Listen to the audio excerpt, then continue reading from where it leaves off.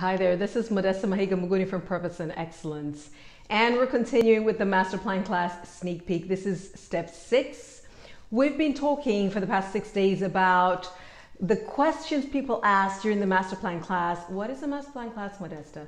The Master Plan class is your bridge between where you are and where you want to go.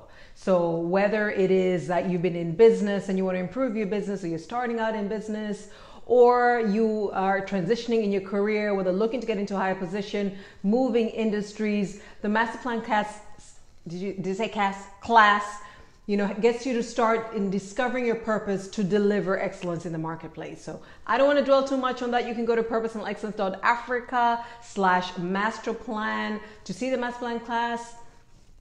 But I just want to right, get right into this topic today. And I have been calling today's session be present, but I've decided, and you'll see under this video, I have called it be visible. And so we're talking about ways that you can stand out in competition without being too overtly, you know, selling yourself and marketing yourself, but truly just who you are and how you are with others, you know, going before you. And we started off with know what gets to you. That was step one. What gets to you? Because whatever gets to you, and you have overcome, you have found a system and you have a method in which you can help other people cross over. They will find you to be credible, they'll find you to be authentic. You will be one of us. That's how your customer will see you because you've been through it before. Step two, add value. Don't just do what's in the fine print, you know, the minimum possible, but truly be in it for the customer which is why step three is identify their pain. You cannot really add value and be in it for them without understanding what their pain is. Do not assume you know what their pain is just because, just generally, people have this challenge generally. No assumptions, ask them what are some of the issues that you're dealing with. In this wide area, if there was this one thing that I could do for you, what would it be? And what does that look like in employment? In employment, this would look like you saying, you are in an industry, you know, speaking to the organization, you are in a market, you are in a niche area, and some of the challenges you're facing are these. So, as an organization, you know, culturally, and somebody just asked me on Instagram, like, how do I, where do I ask this question during my interview? Do I ask them about their industry? And do, no, not during the interview. You research about this organization before you go to the interview. You know, as much as you are being assessed, you should assess the organization that you want to work with. And so check out their culture. Look at where they have come from. You know, what has their their trajectory been the past five, ten years? Where do they seem to want to go? What is some of the language they're using about their future? What is some of the language they're using about the market, the competition, about the region, literally economic region in which that business is? For you to gauge as to whether or not, with where you want to go in life, you better know where you want to go in life, whether this organization will be the organization to get you there. And so you find out their pain, no assumptions. What are the issues?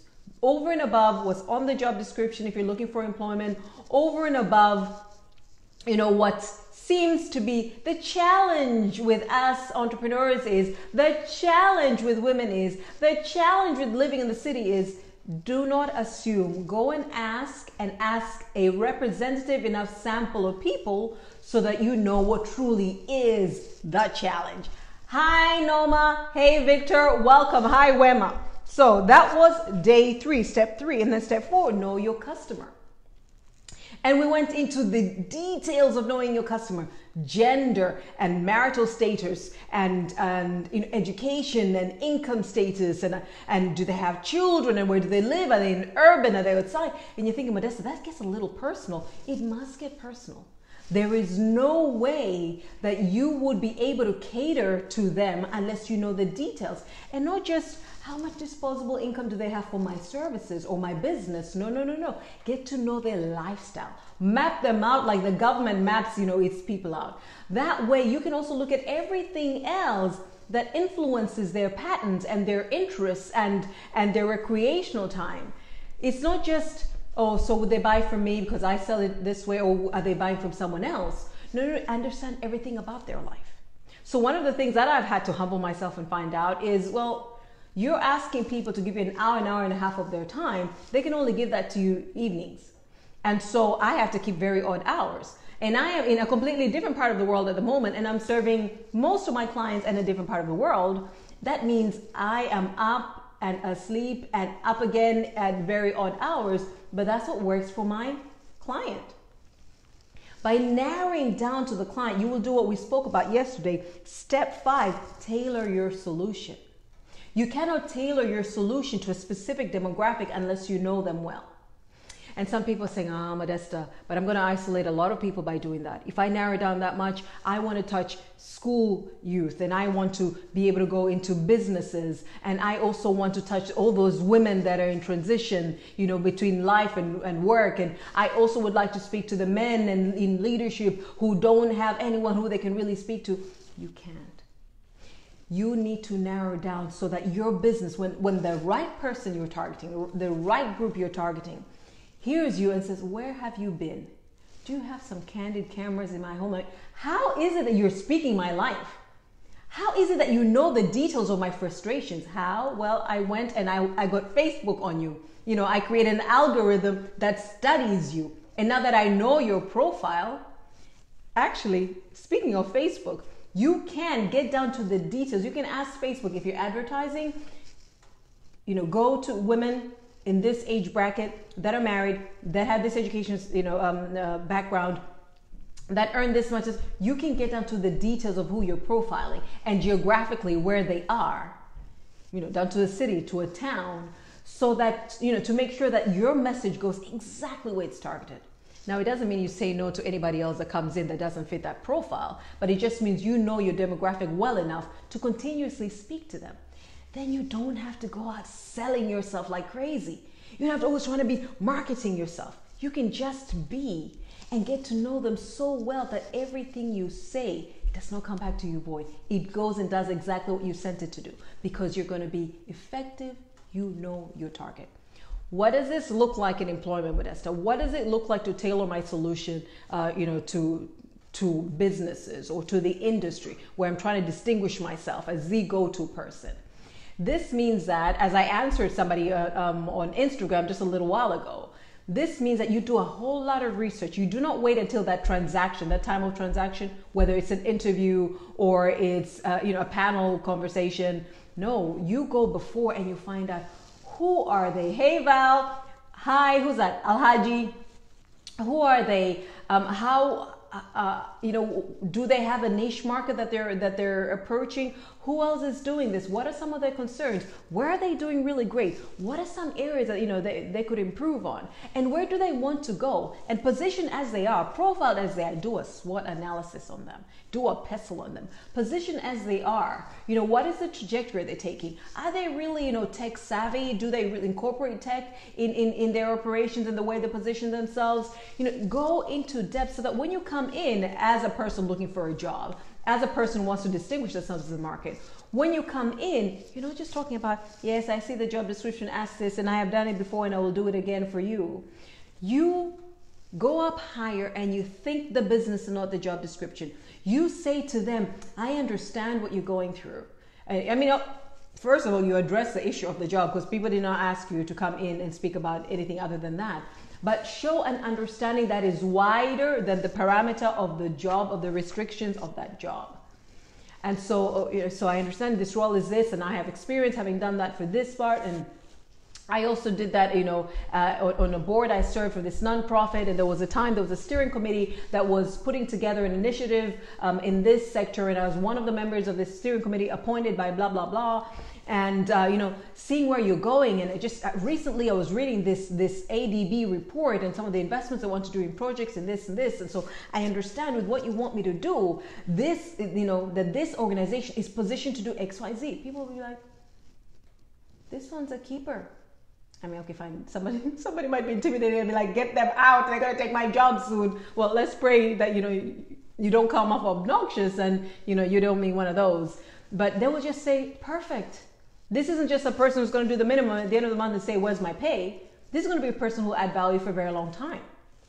Which leads us to today, which I had been calling be present thus far, but I'd rather call it be visible. What does that mean when you want to stand out in competition uh, without overtly selling yourself and marketing yourself? Be visible. that means that if I Google your name, if I ask people who are in that industry, if I, you know, go and and I'm going to the professional association and I seek, you know, someone out. Let's say, let's say I'm parting with you know millions and millions of dollars here, and I seek someone out who will vouch for you, other than the references you just gave. But yeah, because people sometimes give references of those that they know would speak well of them. Somebody will say, "Oh yes, I know that person." Either I have worked with them or I've heard of them by reputation. What a stellar person. You know, I would do business with them. I would recommend that. And so be visible is saying when you want to stand out in competition, it's really good that you could actually be seen first because you need to be seen before you can stand out, right? I mean, you need to be there at all. But it also gives extra assurance. Let's say it's about business. If other businesses can say they have done business with you and have had success with you, then this one knows this person is not going to try to learn on my watch, on my money. They're going to come here, they know what the job requires, you know, they'll hit the ground running. Equally so in employment. If you have references and you have referrals and you have goodwill, we'll talk about referrals later, uh, from industry experts that they respect, it's a done deal. And I'm sorry that sometimes it seems like, but that's not objective. They're not giving me a chance. Listen, there is the objective assessment and evaluation of people, but there is also a very important role in saying, okay, I can assess you and evaluate you, and you may look good in this simulation, in this environment where you know, you know, you're you're being watched. But what are you going to be like three months, six months from now? I need to know. I don't want any crazy surprises because it is a whole lot of money to recruit someone, see that you've done it wrongly, and start that process all over again. And so referrals, recommendations, you Google a name, you see, you know, the name associated with similar pursuits as that to which they're coming to you for. Whether it is a business or whether it is an individual seeking employment or seeking to position themselves and distinguish themselves in the market. And so be visible. Will we find you? And when we find you, will we find information related to this thing? I've made this this uh, comment about politicians. They might come back and bite me in the tooth should I one day want to go into politics. But you hear someone say, "I will do this," and I vouch if you vote for me, I'll do X, Y, Z. You know, pray tell, Mr. Ms. Politician, have you done this before? Even at a small, you know, you know, I don't know, in a small role, can can I find out from people? Can I go back as far as school and you know university and your first job and in the community and you know if I were to ask around you would they say that you are the same person? Would they say that you have been visibly doing things related to what you're speaking about now? Or will they say they want to do what? Huh. All the best to them with that. I didn't see that coming at all. I didn't even know that they had an interest in that area. If your parents, your spouse, uh, people you have worked with before, if, I mean, I mean, not to say God can just pluck you out of a situation and plant you in something else, but I don't think He, he doesn't work in, in vacuum. You will have shown traits, you will have shown um, li- the likelihood of you getting into this area all along. Character does not form out of nowhere. Um, a passion and, and purpose does not just you know spring up. You may wake up to all that you are and package it together, but it was in you all along. And so being visible says if I were to ask around, if I were to Google you, I will see that you are about this now, but I can trace you 10, 15 or so years back and I'll see you're about this even then. I had a friend, something I posted just a, an hour or so ago uh, about my journey in entrepreneurship. I was talking about how I, I never, you know, I never bling it. I mean, I just make things work. But and so I was talking about, you know, if you're an entrepreneur and you, you, you know you haven't really been investing in yourself, don't worry. You're on a trajectory somewhere. One day you'll have all that you want if that's the thing that you aspire for. And one of my friends, who's known me since I was in secondary school, said, I remember 15 years ago when you were just starting, I don't even know if you'd even started implementation. You were just starting out. You were talking about these things and you know what you're going to do. And you know, she's saying, I'm seeing it coming through. Keep going. So if somebody can just say, she's been talking about this for 15, 20 years. You know, they've been doing this in a voluntary role, um, you know, supporting these organizations or had worked for somebody else. Great leaders are great followers. Had worked for somebody else and had done this. Well, then your visibility, present, past, assures people and distinguishes you from your competition that you are in it for the long haul, that you are invested in this thing, and therefore they can trust their vision, they can trust their organization, they can trust their money, they can trust their people with you. So I hope that has helped you and has spoken to you. Please do. I haven't been asking people to share. Honestly, guys, I'm so passionate about what I do. I forget about all the sales and marketing thing I'm supposed to do, like sharing groups. I tried that at the beginning, and after all, I was like, ah, man, if they see it of value, they'll share with other people. But you know, yeah, please do share this with other people. I actually, especially, would like to ask people who are not in Tanzania, where I come from, and where I mostly have people I connect with to share in their countries, in their groups, because I'm looking to reach out to Africa and maybe my roots and not as well established as I wish, but this is, you know, one of the ways that I would like to do it to ask you if you would help me reach those 100 million African leaders that, that I know are going to propel Africa to be the leading economic region in the world. By the way, you want to know why and how I know that? You can inbox me. But if you want to know more about the master plan class, if you'd like to join the master plan class, I do have an offer. Join with a friend and pay 50% only for both of you go to purposeandexcellence.africa slash masterplan and you can register or you can send me an email for a complimentary consultation with me. Have an amazing day and evening until tomorrow when we talk about number seven, be human. Ooh, I've got a good story related to that one. Step eight, deliver excellence. Step nine, solicit feedback. And step 10, ask for referrals. We touched on referrals today uh, when we're talking about being visible. Referrals are a game changer. I don't know if you've been following me for a while, but I am where I am because I've had a lot of people, a lot of people taking risks on me, referring me, and they have catapulted my career. I cannot stress enough referrals. I have been talking about what I've been talking about for decades. I have been just as passionate, just as deliberate, just as you know excellent in my execution, but it was referrals that catapulted me and my business.